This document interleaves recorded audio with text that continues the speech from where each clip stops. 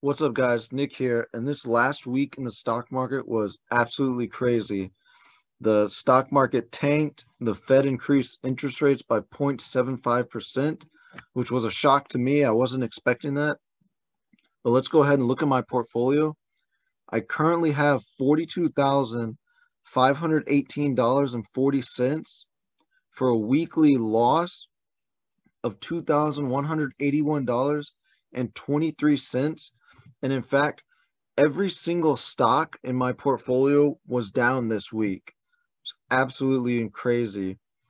See, all the way from IBM to Johnson Johnson, AbbVie, Apple, SCHD, Home Depot, MasterCard, all the way to American Waterworks.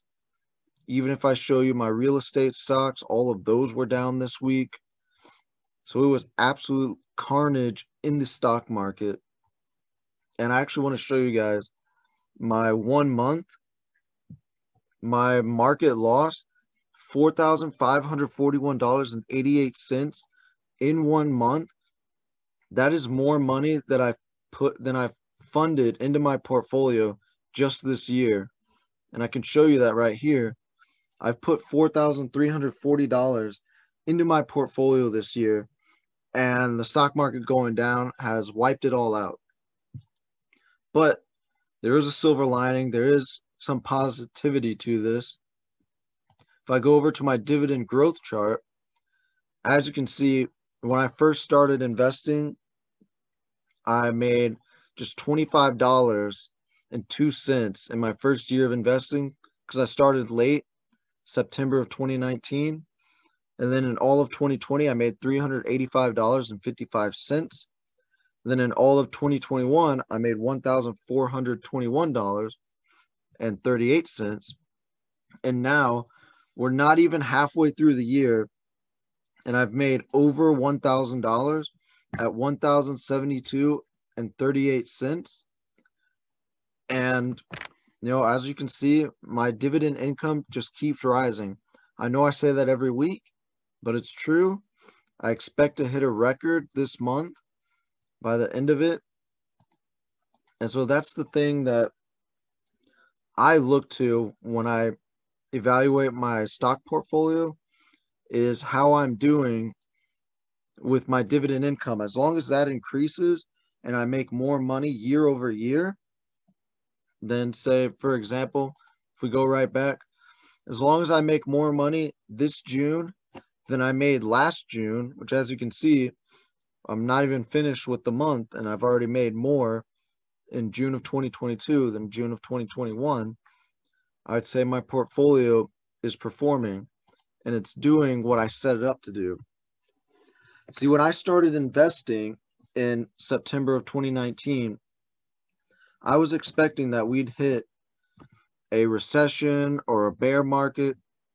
I thought something was coming and I already love dividend stocks, but I just wanted to make sure that my portfolio was protected. We can actually go to the all time. You can see that I'm actually negative for the first time in my portfolio, negative $700.13 or negative $713.29. I've been up as much as 6,500 or more in the green but nothing has changed about my portfolio. And so what I was talking about, I figured we were heading towards a recession or at least a bear market or something. So I created a defensive portfolio.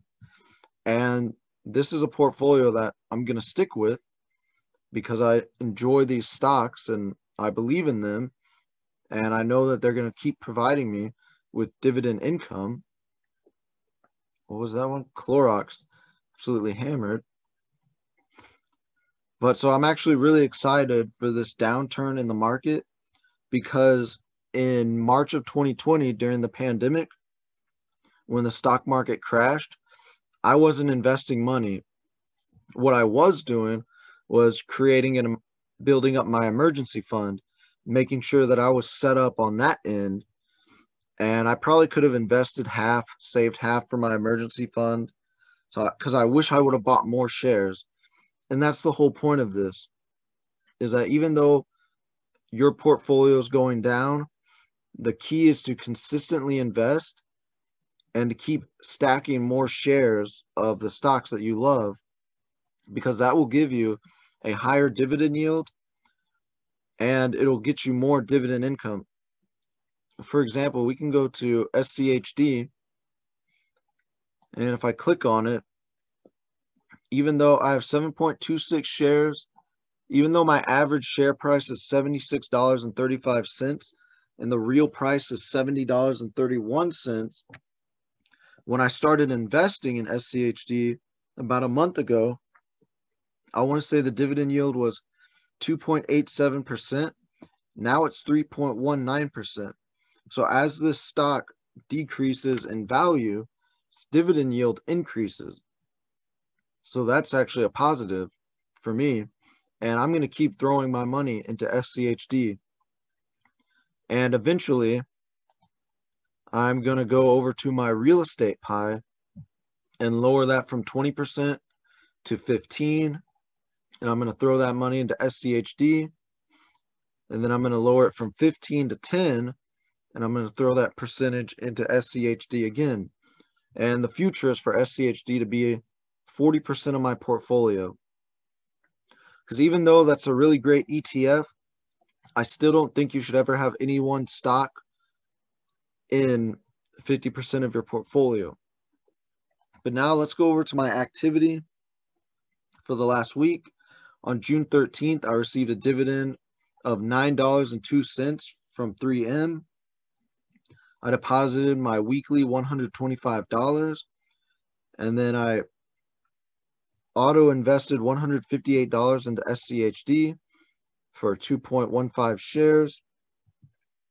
Next, on June 15th, I received an $8.08 dividend from Kellogg's, a $6.51 dividend from O Realty, and a $5.32 dividend from Stag.